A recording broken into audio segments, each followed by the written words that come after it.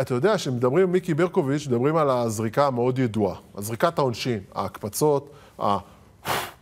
שלוש פעמים. שלוש פעמים, מה, שלוש פעמים להוציא אוויר? כן. שלוש פעמים... מי לימד אותך את זה? מי לימד אותי? אני מאמין שלי. לא, אף אחד לא לימד אותי. הילדים, אתה יודע, אני לא, היום... לא, ההצלחה שלי, ואני יכול להגיד את זה בגדול, היו לי שלושה מאמנים הכי טובים בכדורסל הישראלי. זה מי? יהושע, יפה. מי עוד? רלף, רלף. ו... הרומני? דוד אסקו. אה, היה לנו שפה משותפת. הייתם מדברים רומנית ביחד? הוא לימד אותי, דיבר איתי.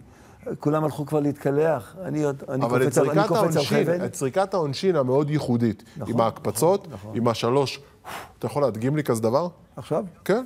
תביא כדור. כדור, אני אביא לך כדור. לא, לא, באמת, אתה יודע, יש כאלה שלא מקפיצים. אני אוהב להסתכל זריקות עונשין. אחד מקפיץ ביד אני עם שמאל הנכד וזורק. שלי, עם אריאל יושב ומלמד אותו דברים שאני עשיתי, וש... אתה עכשיו מלמד את הילד. אתה מלמד אותו מה? אתה מקפיץ פעם כן, אחת, כן. פעם שנייה, פעם שלישית, אין כדור, כן. נעשה כאילו. קודם, קח אוויר, אמרתי. כביר. יש לך כדור? אין כדור. אה, אתה בא ללמד. פעם אני בא רק עם כדור. אתה מבין. לא, לא. לא, אבל יש לי את השלוש.